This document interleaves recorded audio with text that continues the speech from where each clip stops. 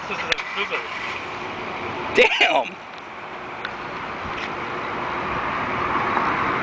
They're gonna explode or something? That wasn't nearly as crazy of an explosion as the, the two liter bottles they were all doing in the two liter bottles. Yeah, but those were the whole rolls, right?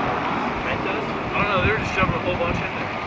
That's weird though, But right? like they capped it, and then they like threw it, and they just went because there was so much built up. Uh, Did they cap it? Yeah, they capped it because the guy had to. He, he picked it up and then threw it, Chucked it. and then there was so much built up pressure that the thing just went flying.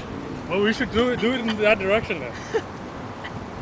Well, we're not gonna do the flying thing, but Well, this, This is not that impressive. Well, how did they get the? Did you ever see the one video with the Bellagio fountain? Where they have a whole bunch of Coke bottles and they do one at a time. And It seems to be slowing what the down. Bellagio fountain kind of Oh really? Yeah, That's pretty nasty. With the Mentos. Actually, See, I don't know if I don't. See, I don't know if the smaller bottle See, check out works the- as well as the Yeah, I saw. as the uh, oh poop the little guys. Alright, alright. Do the Diet Coke. I mean, obviously, we if we have more of this stuff, it'll be more impressive. Well, it's Okay, but for the it's an experiment. So put three in the Diet Coke now. the reaction. just three. Uh, Do you wanna do more? put them all a whole bunch in there. I think we should put. I think we should might as well just put a whole bunch more. Alright, what the hell? Empty the box. Well, if I can, Guys, not even that fast, dude. If we can be splashing up against me. How many engineers does it take to blow up a bottle of Diet Coke?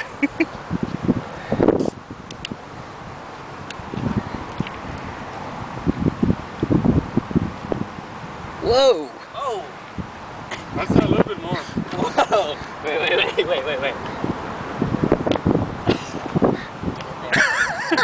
Go in, dude. That- That's little. That is so weird. Why does it do that?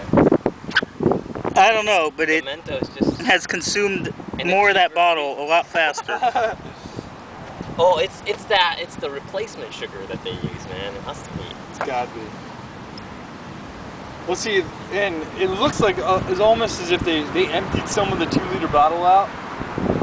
well, not the in explosive result we were hoping for, but and still kind of cool. uh, Then put the lid on. I mean, Yeah. I, I don't know if they shook it up or it built up. And they threw it down, and the and the, the lids pop the off. li- lids just pop off because there's too much pressure. Well, I guess we know So what we're doing tomorrow. get